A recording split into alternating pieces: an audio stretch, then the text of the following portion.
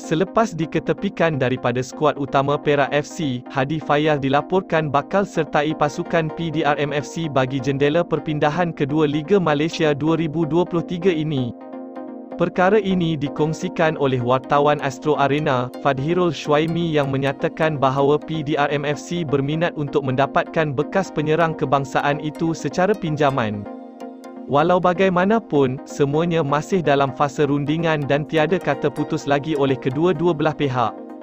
Penyerang berusia 25 tahun ini difahamkan gagal menawan hati jurulatih baharu Perak, Yusri Celah untuk beraksi dalam skuad utama, oleh sebab itu, beliau telah diturunkan ke skuad simpanan bagi mencari semula sentuhannya dalam saingan Piala MFL bersama Perak FC 2. Baru-baru ini, Hadi Fayat kembali menemui sentuhannya apabila berjaya menjaringkan satu gol bersama Perak FC 2 dalam saingan Piala MFL.